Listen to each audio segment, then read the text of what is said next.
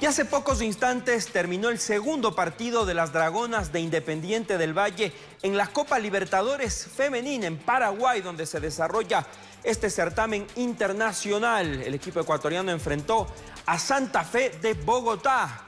Tuvo una destacada actuación el conjunto nacional, pero lamentablemente Mariana Zamorano fue la autora del único gol del partido para el elenco colombiano, que ya suma cuatro unidades en el torneo fueron derrotadas las Dragonas. En la primera presentación el pasado viernes empataron uno a uno con Ferroviaria de Brasil y se han quedado con una unidad a la espera de ver si pueden clasificar el próximo jueves desde las 15 horas 30 cuando enfrenten a Peñarol de Uruguay. 1 a 0 fue el resultado final.